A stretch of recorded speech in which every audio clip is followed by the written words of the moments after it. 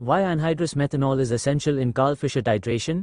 In the world of moisture analysis, precision is everything. Whether in pharmaceuticals, chemicals, or food industries, accurate water content determination ensures quality, stability, and compliance. And when it comes to Karl Fischer, KF, titration, the choice of solvent plays a critical role. This is where anhydrous methanol becomes indispensable.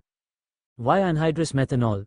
Eliminates interference any extra water in the solvent would distort results by reacting prematurely with the KF reagent. Ensures high accuracy by using anhydrous methanol, we ensure that only the water from the sample is measured, improving precision.